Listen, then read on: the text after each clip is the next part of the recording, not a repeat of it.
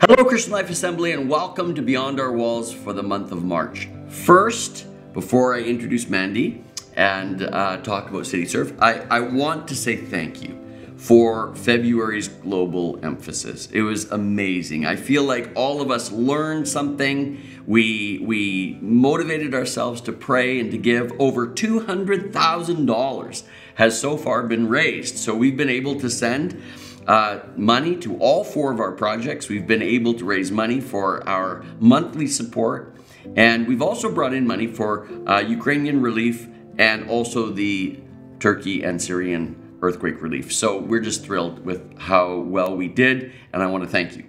Today, though, in this edition, we get to talk about CityServe. About $50,000 a year is raised for CityServe, and they do lots of things. Um, boxes of love, uh, for BC is coming up this spring. But today we're going to talk about something that has happened uh, through COVID, uh, a network relationship with Raphael Family Support Center. So, Mandy, tell us what that is and how it came about. Yeah, so Raphael Family Support Center is a center that has been developed for families from the Langley School District. Um, through COVID, they opened, the schools actually opened up a food hub for the families because they knew they wouldn't be getting the, the supports that they had, like lunch programs and breakfast programs. And so they, they really, I think COVID really magnified some of the food insecurity that they were seeing within their families. Um, and so when when school went back into session, the teachers couldn't sustain this any longer, so they came to the local churches. And so it's really a partnership with the local churches of Langley. Um, we moved to the um, Douglas Park Rec Center for a year, and then when their programming started up again, we found a permanent space for Raphael Family Support Center.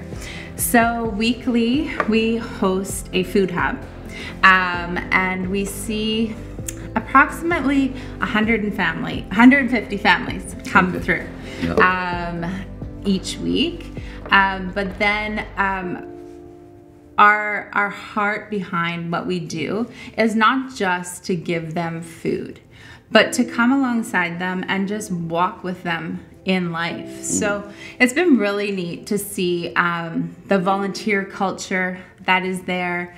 Um, we have we have people from all the different churches, and then now we have our families that volunteer with us. So we're really walking through life's highs and life's lows mm-hmm. with these people, which which I see it as. Um, that's what we do at church, yeah. you know? Yeah. As a church family, we go through life together and we're getting to do that with people in our community.